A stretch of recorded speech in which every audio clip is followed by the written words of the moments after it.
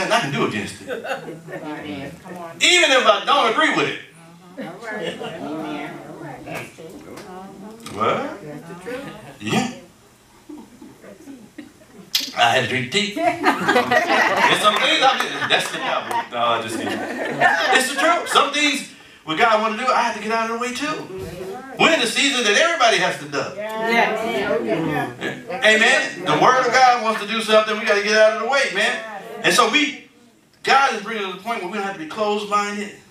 That we don't have to be hostile to the truth. Amen. We don't have to oppose the things of the Spirit. We can move forward in the things of the Spirit.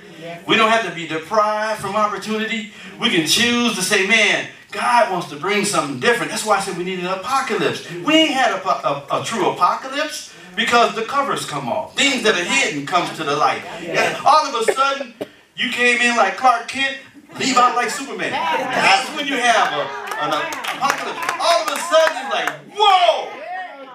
Like they used to tell us back in the day, like Zenith. remember how there's a quality, what's that? Y'all remember Zenith? When the name goes out. There you go. The quality has to what? Go in. Before the name goes out. That's what we need, a zenith moment. Uh-huh. Season of preparation. Not before promotion. Yeah, that's good. Get in the cleft of the rock. Yes, Lord. Allowing the Spirit of God to bring us. Because there's a summoning of the Lord. I'm getting ready to quit. There's a summoning of the Lord across the globe. Not just in this little building.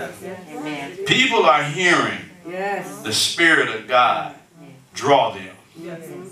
And it's, it's very irresponsible for us not to respond. Yes. I'm here to tell you. You got to make up your mind. Amen. Because there's people that's assigned to all of us. Yes, Tell your neighbor, all of us. All of us. All of us. All of us. And we're being prepared in the school of the Holy Spirit. He's training us. That's why we have sessions. That's why we we're able to break bread. That's why I was able to say some things that was probably unlawful in other churches, but it's lawful here. Yes. Then we can look into the scriptures because we need to be open in our mind. And if our mind is not open, we need to get open-minded. That's why I said we need the apocalypse. We need a true apocalypse. Tell you we need a true apocalypse. Need to get to a point where we can begin to allow ourselves to entertain the possibility that God has something bigger and better for our life. That he wants to transition us to a next place and the next phase in our life. That we can truly, without failure, cross over into things of God. I tell you that you can cross over. You can cross over. But you're going to need something, and that's why. Oh, no, hold on, hold on. I should have put a period in there. I'm telling you guys. But um, it's not going to happen. It's not automatic. It's not going to happen by osmosis. The Holy Spirit, I mean, the, the well, I was going to say something, but anyway, yeah, the Holy Spirit wants to resuscitate us. Yes. He wants to, so he wants to breathe in us again. Yes. Thank you. See, because when he breathes in us, there's hope comes. There's excitement comes. You get animated, Yeah. not agitated. Because when you, if you agitated and short tempered, that lets you know where you're living. You're living in the carnal realm, the earthly realm. God wants us to shake ourselves in the dust of the earth. He wants us to ascend into his assigned place. And we have to transition. I'll talk about the apocalypse next week, y'all. Amen. Because I want to walk you through that, what it means. Because it should be happening every time we come. But you know what happens sometimes? Intellect gets in the way.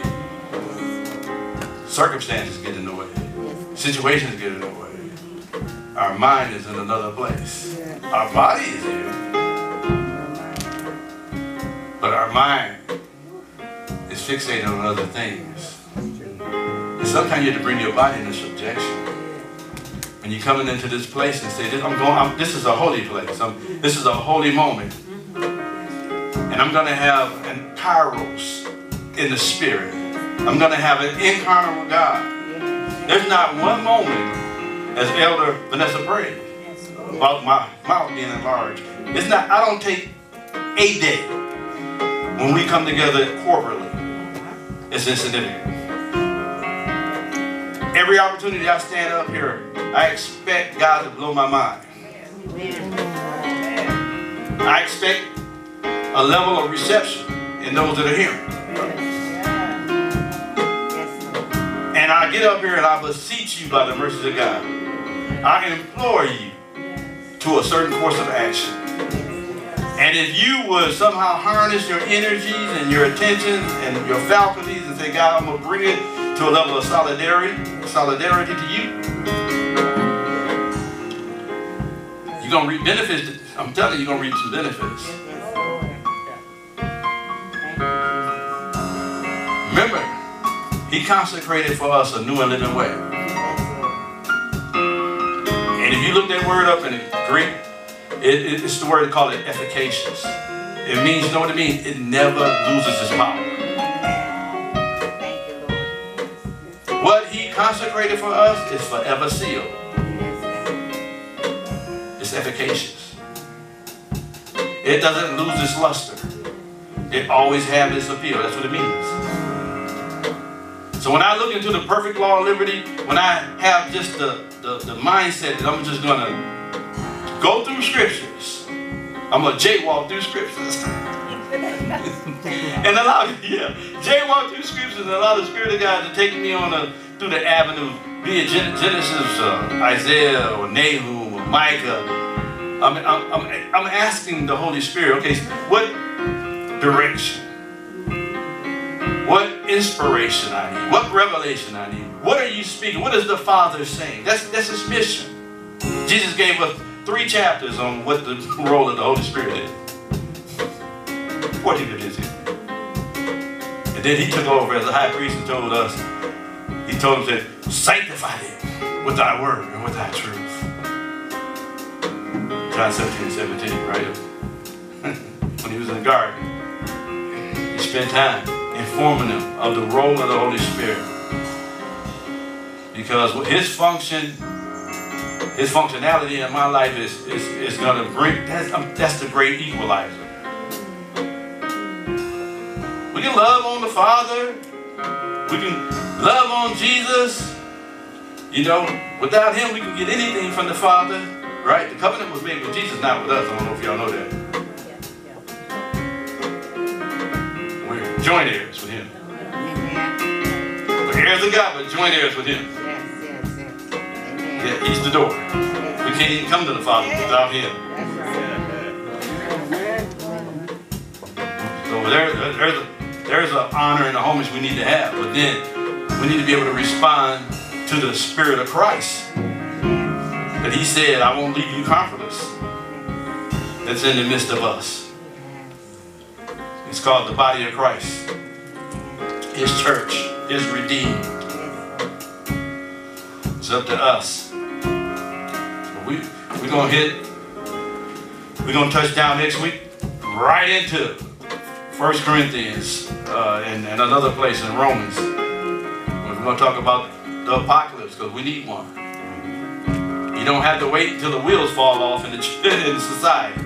But most of everybody looking at the world is going to the hell in the handbasket. It's going to keep going to the hell in the handbasket. But there's a light. It says, arise and shine, for thy light is come. Right? What did he say about the earth? Gross darkness That's filled the earth. But he has not left himself without a witness. It's called the church. A city set on the hill that cannot be hid. If we get our information from him. Or we can be cheap and a copy and a knockoff and get our information through the TV. And allow the prognosticators to tell us our future. No, no, no, no, no, no, no, no. No, no. I, I, I know too much about the word to know. God is up to something. All there's system failure in the whole earth.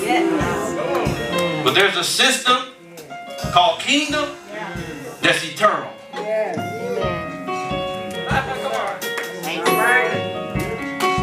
So the best way you can do it to transition is unplug from that system and plug into the kingdom. I just prophesied. Yes.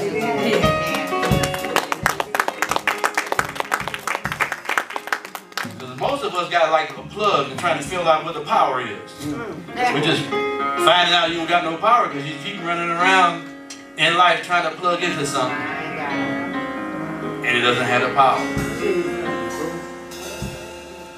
But there's a power that says, I never leave you nor forsake you.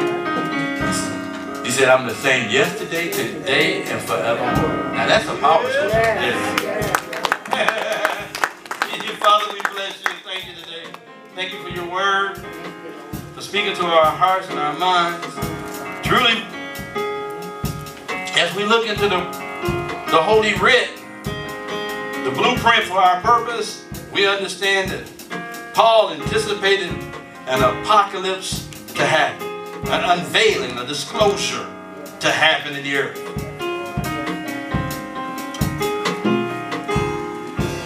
It is a people formed in your image and in your likeness. People that understand for such a time as this, they're coming forth. And we, we bless you that you're changing things. That there's a rising and a fall of many. That ultimately the kingdoms of this world will become the kingdom of our Lord and his Christ, of whom we are a part of. we bless you for it. In Jesus' name, amen.